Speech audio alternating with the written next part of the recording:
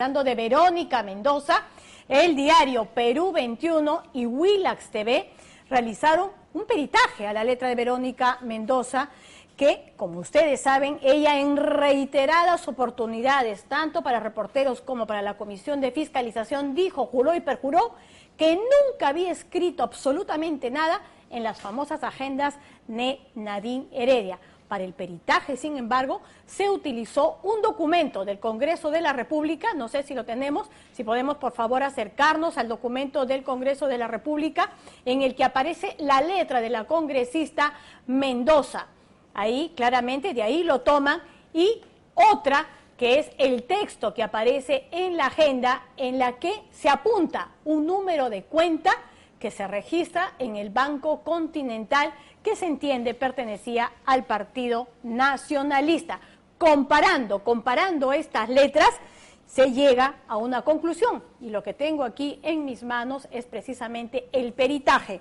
El peritaje grafotécnico realizado por el perito Andrés Vegaso, solicitado por el diario Perú 21, que es el que solicita que se haga precisamente este peritaje. ¿Y qué concluye ese peritaje?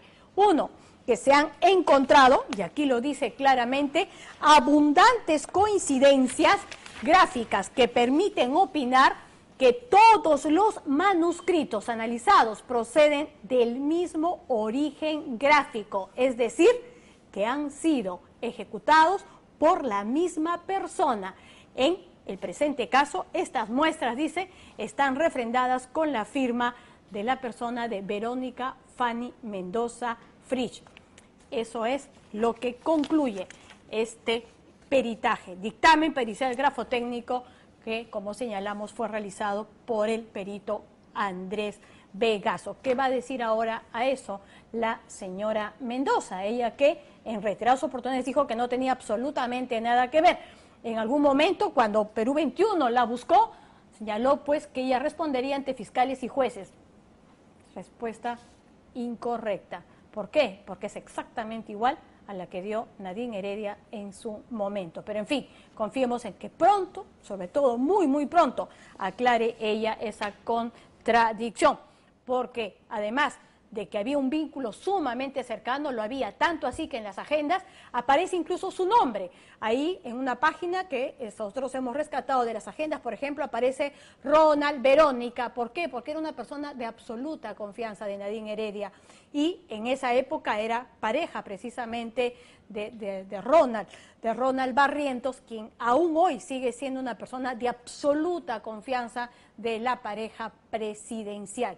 Y así como en esa, aparece también en otras oportunidades. En fin, muchos puntos por aclarar sobre esas viejas relaciones. Ahora sí, momento de hacer una brevísima, brevísima pausa en el programa, pero ya regresamos.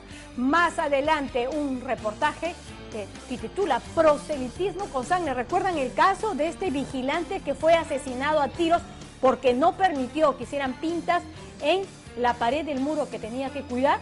Pues bien, varias novedades al respecto, como por ejemplo que el asesino estaría suelto. Ya regresamos. Violencia sin control. El orificio de entrada ha sido por la fosa nasal y ha salido por este lado del cráneo.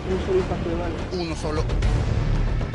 Por primera vez, la infamia del asesino, registrada por las cámaras de seguridad de la empresa. Pero si todo esto de por sí es sumamente indignante, peor aún descubrir que este peligroso sicario chalaco, poseedor de un amplio prontuario, homicida confeso de este crimen, hoy